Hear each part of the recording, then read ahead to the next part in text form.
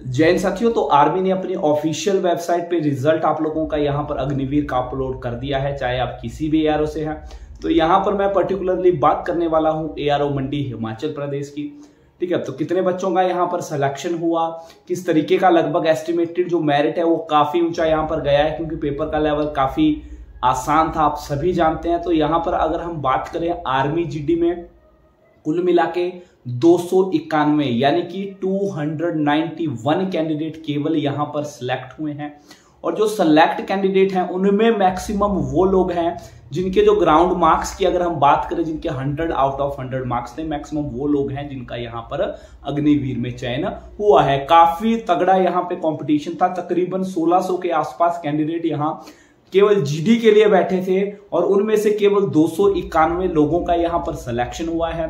साथ ही साथ यहाँ पर अगर हम बात करें टेक्निकल की बात करें तो नौ कैंडिडेट यहाँ पर सिलेक्ट हुए हैं। ट्रेडमैन की बात करें तो पाँच कैंडिडेट यहाँ पर सिलेक्ट हुए हैं टोटल और यदि मैं एआरओ मंडी से मेरिट की बात करूँ तो जो अब तक मेरे पास इंफॉर्मेशन है, उसके अनुसार जो 177 मार्क्स जिस कैंडिडेट के बन रहे थे, उसका सिलेक्शन नहीं हुआ है, लेकिन उसका दोस्त जिसके मार्क्स 178 बन रहे थे, उसका सिलेक्शन हो गया है।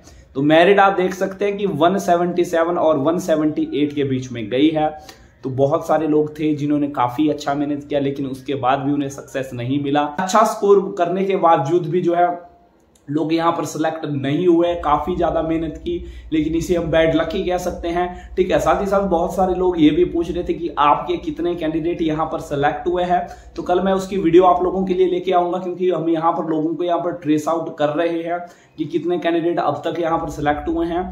ठीक है तो कल तक पूरी फाइनल अपडेट आपको मिल जाएगी कि फाइनली कितने लोगों का यहाँ आर्मी अग्निवीर में सिलेक्शन हुआ है। हमारे जो कैंडिडेट थे, लेकिन जिन भी कैंडिडेट का यहाँ पर चयन हुआ है, पहले तो उन सभी को, उनके परिवार को हार्दिक शुभकामनाएँ, और जिनका यहाँ पर चयन नहीं हो पाया तो उनको मैं बैड लक के अलावा कुछ नहीं कह सकता क्यों मैं इतना ही, और कल मैं बात करूँगा कि किन किन लोगों का यहाँ पर चयन हुआ है।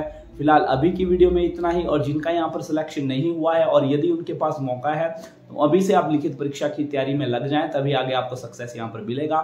थैंक यू जय हिंद जय भारत